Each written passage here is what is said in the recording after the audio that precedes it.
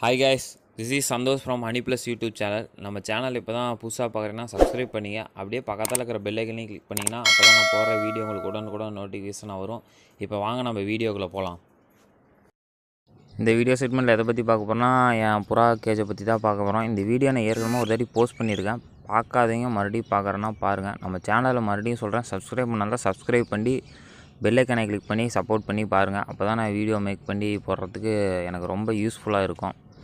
இந்த வீடியோ பார்த்தீங்கன்னா எனக்கு பழைய வீடியோவில் காப்பிரைட் இஷ்யூஸ் வந்துச்சு. அதனால தான் இப்போ நான் மறுபடியும் ஒரு ஓனாக வீடியோ போடுறேன்.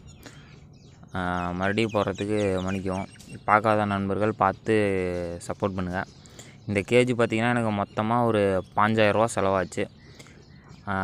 லென்த்து பார்த்தீங்கன்னா ஏழு அடி. ஹைட்டு பார்த்தீங்கன்னா மூன்றரை. மூன்றரைக்கு மூன்றரை. மேலே பார்த்தீங்கன்னா காஸ்ட்லி அந்த சீட்டு சொல்லுவாங்க கூலிங் சீட்டுன்னு அது போட்டிருக்கேன். சுற்றியும் பார்த்தீங்கன்னா படுத்தா. இந்த படுத்தா பார்த்தீங்கன்னா இந்த படுத்தா வந்து நார்மல் படுத்தா. அந்த கட் அவுட் பேனர்லேயே காஸ்ட்லியான பேனர் தான். கொஞ்சம் யூஸ்ஃபுல்லாக இருக்கும். மேலே பார்த்தீங்கன்னா ஓலை கீழே போட்டு தான் கவர் பண்ணியிருக்கேன். அதுக்கு மேலே பாதாணிக்காய் மரம் தான். அதில் பார்த்தீங்கன்னா நைட் ஆனால் பகலெல்லாம் பார்த்திங்கன்னா சிட்டுக்குருவி வந்து நிறைய கூடு கட்டியிருக்கும். இந்த ஒரு இதாகவே ஒரு இது காசு இந்த பேர்டு காசுறமே இந்த இடம் அப்படியே இருக்குது ஒதுக்கியிருக்கேன்.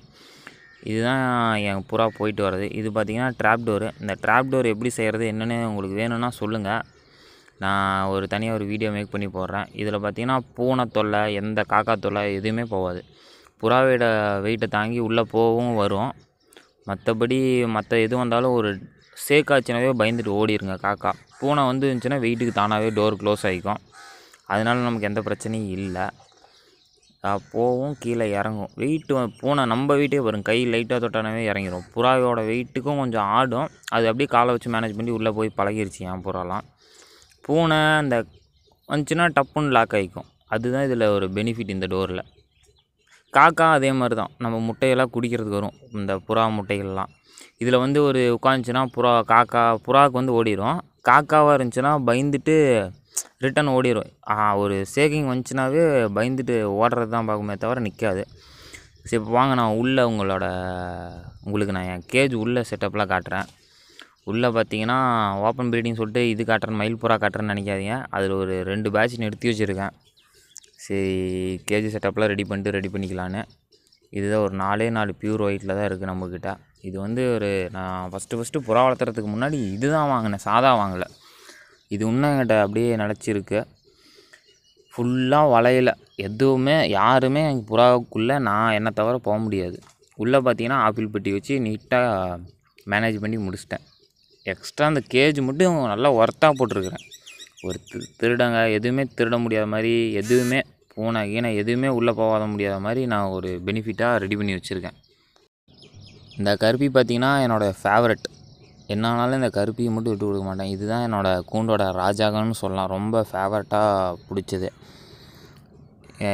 நிறைய பேர் கேட்டு கொடுக்கல. அது அப்படியே தான் வச்சுருக்கேன். இப்போ நான் அப்படியே லைனாக ஒவ்வொரு புறா என் கேஜில் என்னென்ன இருக்குது எப்படி எப்படி நீட்டாக வச்சுருக்கேங்கிறத பொறுத்து எல்லாமே காட்டுறேன். பாருங்கள் இது வந்து ஃபேன்டைலுக்கு ஒரு சைனா கேஜ் தான். மீதி சாதாக்கு எல்லாமே இதுதான் ஆப்பிள் பொட்டி தான் போட்டிருக்கேன். இது வந்து சிக்கு சில்வர் கலர் ஒன்று பியூர் ஒயிட்டு இதோட ஃபாதர் மதர் பார்த்திங்கன்னா பியூர் ஒயிட் ஒன்று இன்னொன்று வந்து ப்யூர் ஒயிட்டில் டாட் டாட் அந்த மாதிரி.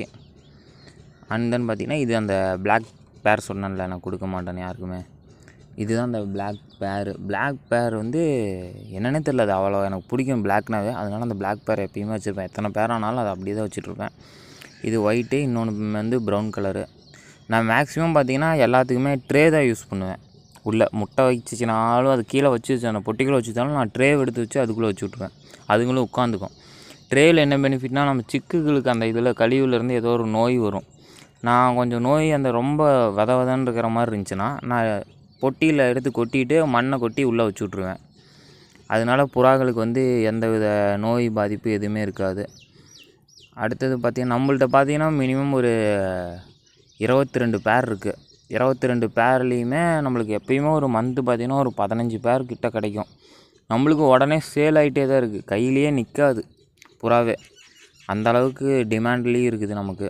இது ஒத்த குஞ்சு தான் இருக்குது அப்படியே இது இது பிளாக்கு இது வந்து அந்த பக்கம் அறையில் இங்கே வந்து பயந்துட்டு என்னை பார்த்து ஒளிஞ்சு உள்ளே உட்காந்துட்டு இருக்குதுங்க. பிளாக் அதோட இதுக்கு பிளா மேலே இருக்கிற பிளாக் வந்து வேறு ப்ரௌனோட சிக்கு பிளாக் வந்துருக்கு. கலந்து இது எல்லாமே முட்டையில் கிட்டையில் எல்லாமே இருக்குது இது பார்த்திங்கன்னா நம்ம மேலே இருக்கிறதோட பேரு ரெண்டும்.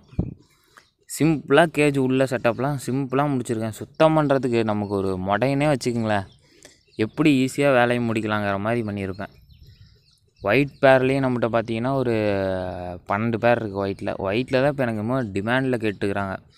பத்து பேர் வேணும் இருபது பேர் வேணும்னு கேட்குறாங்க அந்த அளவுக்கு கொடுக்குற அளவுக்கு இல்லை. மேலும் நான் என்கிட்ட கொஞ்சம் நிறையா செஞ்சுன்னா நான் எல்லாத்துக்கும் கொடுக்க ட்ரை பண்ணுறேன் பாருங்கள் ஒயிட்டு தான். எல்லாமே முட்டையில். இது வந்து பக்கத்தில் இருக்கிற சிக்கு இந்த பக்கம் ரைட் சைடில் இருக்கிறது ப்ரீடிங் பேர் அடுத்த முட்டைக்கு ரெடி ஆயிடுச்சு இதுவும் அடுத்த பேட்சுக்கு இப்போ தான் முட்டையில் உட்காந்துட்டு இருக்குது. நமக்கு எப்பயுமே ரெடி ஆயிரும். சிக்கை பொறுத்த வரைக்கும் குவாலிட்டியாக வந்துட்டே தான் இருக்குது தண்ணிக்கு இதில் வச்சுருவேன். கம்பு தான் நான் மேக்ஸிமம் போடுவேன். ஏன்னா மேட்சலுக்கு போயிட்டு வந்துடுது அந்த பக்கம் சோளா அது இதெல்லாம் கடை இருக்குது அதனால் நான் கம்பு மட்டும் ஒரு ரெ- டம்ளர் டீ குடிக்கிற டம்ளர் ரெண்டே ரெண்டு டம்ளர் மட்டும் தான் போடுவேன் அவ்வளோதான் கீழே பார்த்தீங்கன்னா வலையை போட்டேன் நம்மளுக்கு உள்ளே வந்து இந்த தேங்கி நிற்கிறதே இல்லை. கீழே அந்த காரைகிட்ட போய்க்கும் தண்ணி ஊற்றி விட்ருவேன் இந்த பக்கம் செடிக்கு அந்த தண்ணி போயிடும். அந்த கழிவுலாம் பார்த்திங்கன்னா அந்த செடிக்கு வந்து உரம் மாதிரி ஆகிக்கும் அப்படியே கொத்தி விட்ருவேன் அந்த மண்ணெல்லாம் கொத்தி விட்ருவேன் அந்த மாதிரி போய்க்கும். அவ்வளோதான். இதாங்க என்னோடய ஓப்பன் ப்ரீடிங் கேஜ் லாஃப்ட்டு உங்களுக்கு இந்த கேஜில் கண்டிப்பாக யூஸ்ஃபுல்லாக இருக்கும்னு நினைக்கிறேன். இதோட டோட்டல் காஸ்ட்டும் சொல்கிறேன் பாஞ்சாயிரரூபா ஆச்சு. எக்ஸ்ட்ரா அது இதுன்னு அது இதுன்னு பண்ண வேலை. ஃபஸ்ட்டு ஒரு கோழி கூண்டு மாதிரி செஞ்சுட்டேன். அதுக்கப்புறம் தான் எக்ஸ்ட்ரா வேலைலாம் செஞ்சு எனக்கு கரெக்டாக ஒரு பாஞ்சாயிரரூபாய் கிட்ட ஆச்சு. அந்த பின்னாடி இருக்கிறது பார்த்திங்கன்னா கோழி கூண்டு. ஃபேன் டெயில் வந்து இதுலேயே தான் விட்ருக்கேன் ஃப்யூச்சரில் அதுக்கு தனியாக ஒரு கேஜி செட்டப் ரெடி பண்ணி அதுக்குள்ளே விட்றது தான் பார்ப்பேன். நிறையா மேட்சலுக்கு தான் எனது மேக்ஸிமம் மேட்சலுக்கு தான் நான் விடுவேன். ஏன்னா இந்த பக்கம் ஃபுல்லாக எங்கள் வீட்டு பின்னாடி ஃபுல்லாகவே காடா அதனால் நான் மேட்சலுக்கு விட்டுருவேன். அதனால் எனக்கு தீனி செலவும் அவ்வளோக்கு இல்லை. டெய்லியும் நான் சொல்கிறேன்ல ரெண்டே ரெண்டு டம்ளர் கம்பு தான் டீ குடிக்கிற டம்ளரில் ரெண்டே ரெண்டு டம்ளர் தான் விடுவேன் பாருங்கள் மேட்சலுக்கு போயிட்டு வந்திருக்கு. ஒயிட்லலாம் எல்லாமே எல்லாம் மேட்சலுக்கு போயிடுச்சு உங்கள்கிட்ட நான் அடுத்த வீடியோவில் வச்சு அப்டேட் பண்ணி காட்டுறேன். இது பார்த்திங்கன்னா ஆடாக வைப்பாங்க அவங்க இங்கே மாடியில். நமக்கு வந்து கம்பத்துக்கு கீழே தான் பார்த்தீங்கன்னா கூண்டே இருக்குது அதனால நான் வந்து கம்பத்தில் எனக்கு எல்லா புறம் இதுதான் அதோடய ஆல்ட்டு கூண்டு விட்டால் இங்கே இங்கே விட்டா மேட்சலுக்கு காட்டு பக்கம். இல்லைன்னா இதோட அதோட ஆடம் இங்கே தான் வந்து அதோட ஸ்பாட் இதில் இறங்கி தான் நம்ம கேஜிக்கே உள்ளே போகும் மற்றபடி இதில் சொல்கிற அளவுக்கு இதில் காய்ஸ் உங்களுக்கு இந்த வீடியோ யூஸ்ஃபுல்லாக இருக்கும். நான் அடிக்கடி கேஜி வீடியோ நிறையா போடுறேன் உங்களுக்கு. அதனால தான் யூஸ்ஃபுல்லாக ஐடியா வரும். வீடியோ பிடிச்சிருந்தா லைக் பண்ணுங்கள் ஷேர் பண்ணுங்கள் கமெண்ட் பண்ணுங்கள் நம்ம சேனல் இன்னும் சப்ஸ்கிரைப் பண்ணாதான் சப்ஸ்கிரைப் பண்ணி என்கரேஜ் பண்ணுங்கள் அப்போ தான் நான் மேலும் மேலும் வீடியோ போகிறதுக்கு எனக்கு ஒரு பாசிட்டிவாக இருக்கும். Peace out and stay safe மீண்டும் ஒரு நெக்ஸ்ட்டு நல்ல வீடியோவில் உங்களை சந்திக்கிறேன். டாட்டா.